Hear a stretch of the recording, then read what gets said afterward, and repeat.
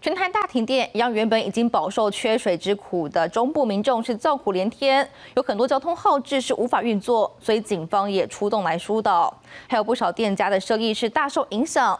至于南投县府也是漆黑一片，还有地方的警局只能够搬来发电机来维持运作。号志灯不亮，阿玛奇的机车就卡在路口。台湾市区因为停电，包括台湾大道和文心路等重要的路口，下午三点左右，号志灯就陆续不亮，远警赶紧出动疏导。台中五日的中山路也是整条号志灯不亮，交通乱成一团。台中市长卢秀燕也赶往环中五泉路口了解疏导状况，而社区不少大楼紧急启动发电设备，但是附近的店家生意停摆，准备做生意的小吃摊也只能喊停，根本无法应变。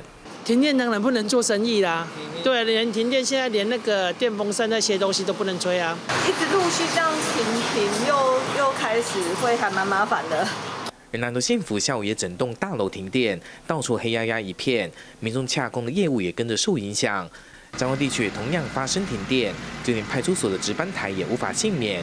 远景搬来发电机，但是不少的店家跟着无法做生意。延长关节一半，全熄电。没有没有冰，我们要去 Seven 买卫生冰块，自己加粉条，知道吗？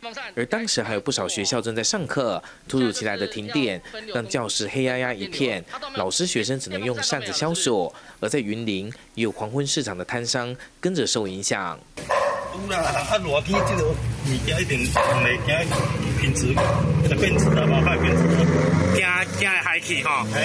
店家 说只能赶紧买冰块，就怕食材坏掉了。全台大停电，对于已经缺水的中部地区来说，又多了一道考验。记者林建生、彭焕群、王威雄，中部综合报道。